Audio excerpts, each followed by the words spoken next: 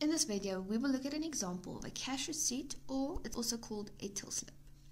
So this is a piece of paper that you get after paying at a shop. It just proves that you paid for your items and the shop uses this to keep record of their sales.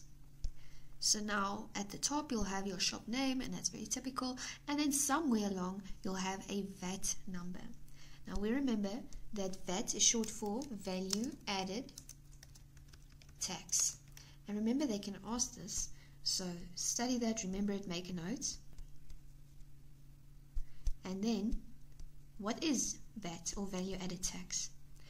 So when you pay for an item, a certain amount is added, which we know is 15% and that's a set amount that is then paid to the government.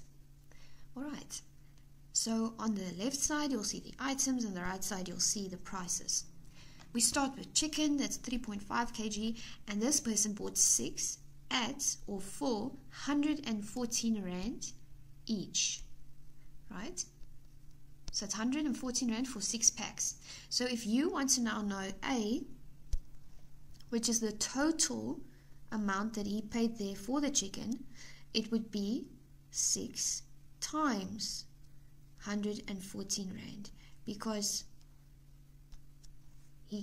bought 6 packs of 114 Rand each. If you times that, you'll see the answer is 684 Rand. Okay. We continue onwards, we see bread 14 Rand, carrots 7 Rand 18 cents, and we note that there's a little star. And these items with a star, or sometimes they also use a letter like A, these items have no VAT added to them.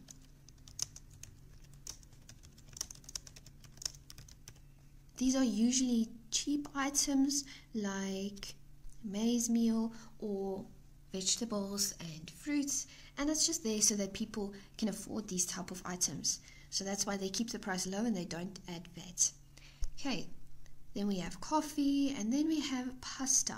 It says times B for 27 rand or at 27 rand and the total is 81 rand so now they want from us we need to figure out how many packets of pasta did this person buy so we're looking for the amount or the number.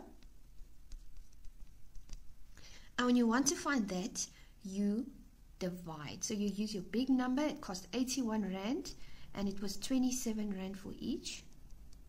We say 81 divide by 27, you will get um, 3. So this person bought 3 packets of pasta. Okay, so I'm going to put that in there, 3. Alright, then we continue. We say this person also got a plastic bag and it was 8 cent. And now we're looking for the VAT, the total amount of VAT. How are you going to find that? Now you're going to say VAT is 15%, which we know, of the total amount, right?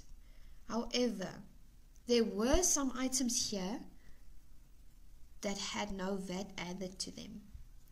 And those items would be the bread and the carrots. So we would deduct this amount and the carrots, 7 Rand 18 cent, from the total. Now note then, 15% is 15 over 100.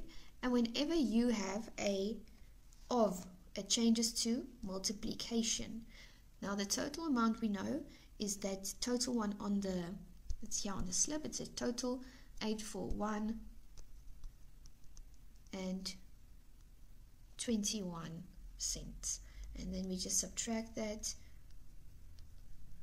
put all of this in your calculator see what you get it's going to be 122 rand 122 and since it is money, we're working with money, we will have to round off to two decimal places, so it will be 86 cents.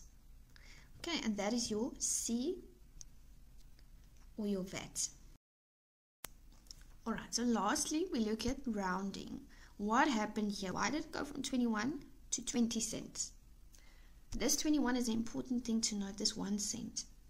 South Africa does not have one cent in use anymore. They don't have one cent, they only start at five cents and up. They also don't have two cents that they have use anymore. Right. So since that's gone now, shops can't expect people to pay 21 cents. How are they going to get that if they pay cash?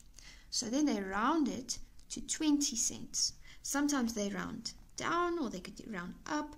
But yeah, in this case, so people are expected to pay a little less, 20 cents. And that is a bargain, that's a deal. Right, so remember to share, like, subscribe, become part of the Whiteboard SA team, and check out some of our other videos on math literacy.